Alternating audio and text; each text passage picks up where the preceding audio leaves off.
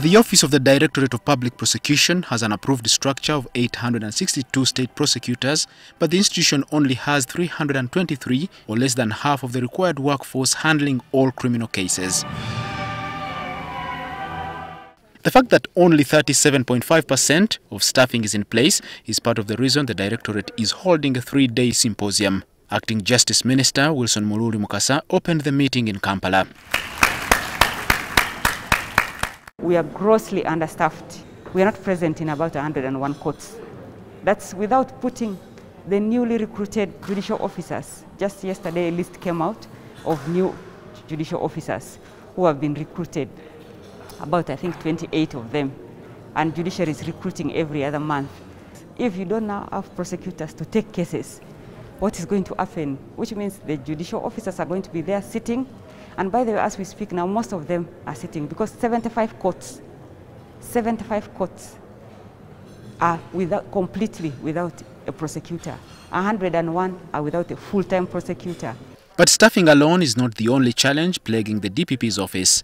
A state prosecutor in Uganda earns a gross salary of 1 million shillings, while a state attorney earns 2.7 million shillings before tax. The Director of Public Prosecution, Justice Jane Abodo, linked her officer's low pay to insecurity.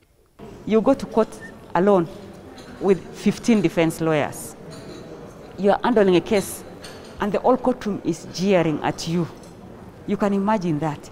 And this is a prosecutor who doesn't have transport because we don't have cars in the ODPP, don't have transport.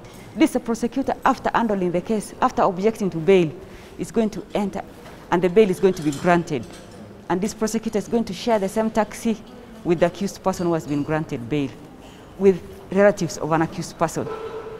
You know, eh? so the animosity and the, the threat on the prosecutor's life is real. One million, when 30% is deducted, you get about 840. Can you really get a house in a better place than in a slum? So you find that all this actually goes into security. These officers in security came to light with the assassination of Joan Kagezi, a principal state attorney in 2015, at a time she was prosecuting the 2010 terror cases. Because we are the ones who are objecting to bail.